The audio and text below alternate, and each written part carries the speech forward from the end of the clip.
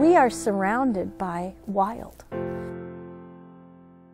We go places daily that probably no other human's ever been.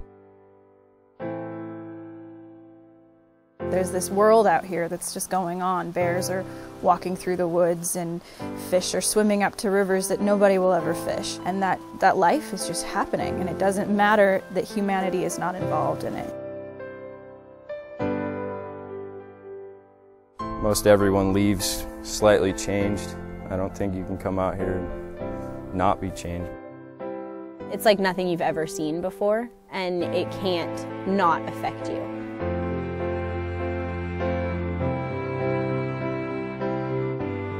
This is the largest chunk of protected landmass in the entire planet. And the airplanes just open up the doors. The freedom in the flying that we have here is unsurpassed.